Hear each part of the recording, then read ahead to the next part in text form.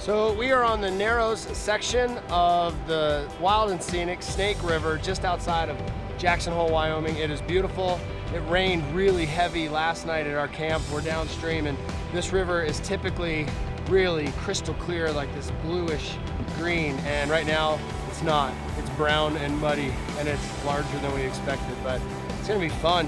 Everything's coming together for a great day here on the Snake.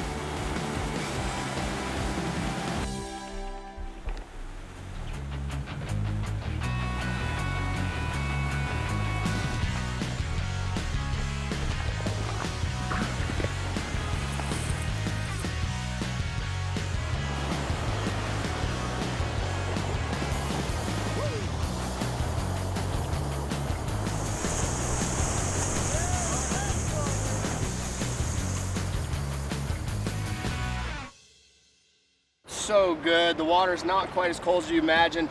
Perfect levels, really fun features, big wave trains, great friends, a whole lot of fun.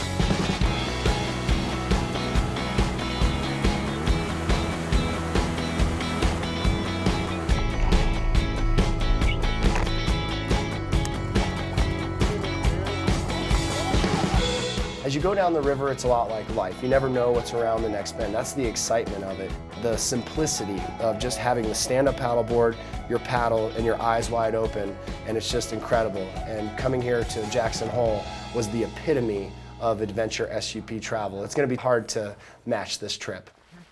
Awesome work.